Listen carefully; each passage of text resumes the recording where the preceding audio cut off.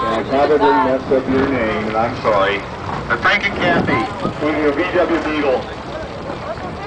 Something near and dear to me. I've got a 70 I've been wanting to get done and work on.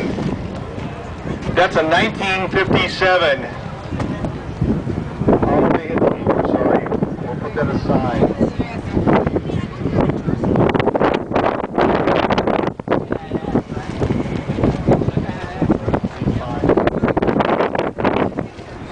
Second place is a 1959 Dodge Dodge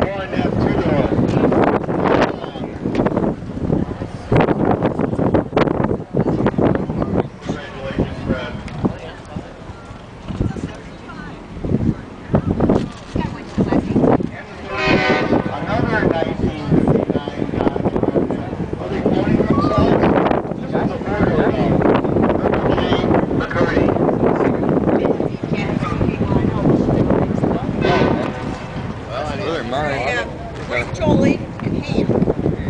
That's it. Carl wants to do this. Congratulations. Okay.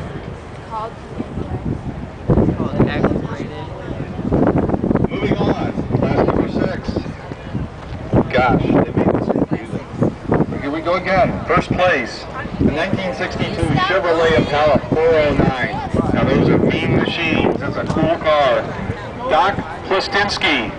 And they're trying to make me tongue-tied besides. Congratulations, Doc. Then we've got a tie for second place. Man, this was a tough competition. A 1963 Olds F85 Cutlass two-door, Don McAtee.